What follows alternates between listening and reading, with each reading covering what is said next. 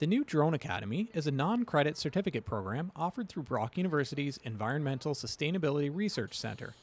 In addition to important knowledge about the safe and legal operation of drones, students will also learn about the various types and applications of drones, along with basic operating principles, licensing requirements, and best practices for environmental and human safety.